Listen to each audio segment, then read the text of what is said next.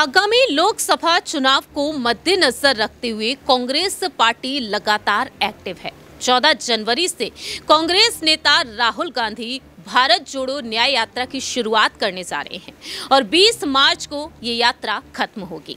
ऐसे में देखा जाए तो कांग्रेस में बैठकों का दौर जारी है। इंडिया गठबंधन में लगातार चर्चाएँ चल रही हैं कि आखिरकार पीएम फेस के तौर पर किसे आगे किया जाए। इसी बीच देखा जाए तो कांग्रेस नेता सचिन पायलट भी लगातार एक्टिव हैं। पायलट को भी जिम्मेदारियों पर जिम्मेदारियाँ मिल रही हैं और वह भी कई बड़े ऐलान कर रहे हैं। अब उन्होंने भारत जोड़ो न्याय यात्रा के लिए अपनी बात रखी है।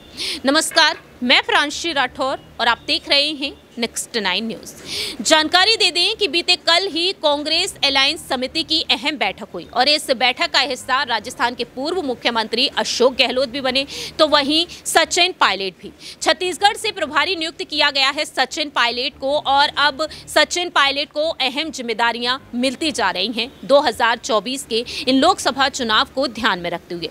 वहीं भारत जोड़ो न्याय यात्रा को लेकर भी अहम चर्चा हुई इस बैठक में। कांग्रेस के राष्ट्रीय अध्यक्ष मल्लिकार्जुन खड़गे ने तमाम निर्देश दिए हैं काम करने के।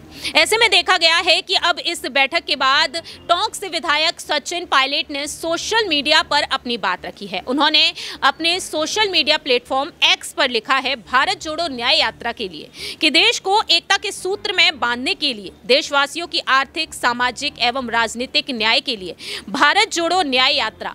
मणिपुर से 14 जनवरी 2024 से हाथ से मिलाकर हाथ जन जन चलेगा। भारत जोड़ो न्याय यात्रा के साथ।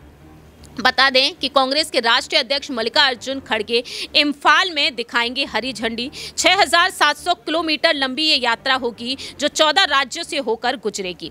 ऐसे में राहुल गांधी पद यात्रा भी करेंगे लेकिन बस से यात्रा करते हुए भी नज़र आएँगे।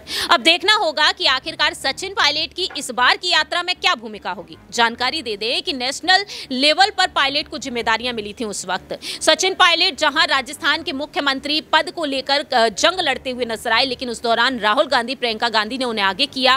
वह भारत जोड़ो यात्रा का मैनेजमेंट भी संभालते हुए नज़र आए और राहुल गांधी के साथ कई राज्यों में कदम ताल मिलाते हुए भी देखे गए। हिमाचल में पर्यवेक्षक के तौर पर भी नियुक्त किए गए थे। अब यहाँ पर यही देखना होगा कि भारत जोड़ो न्याय यात्रा में पायलट की अहम भूमिका क्या होगी और राजस्थान से भी ये यात्रा होकर निकलेगी। फ़िलहाल इस खास रिपोर्ट में इतना ही। बाकी की तमाम अपडेट्स के लिए देखते रहिए नेक्स्ट नाइन न्यूज़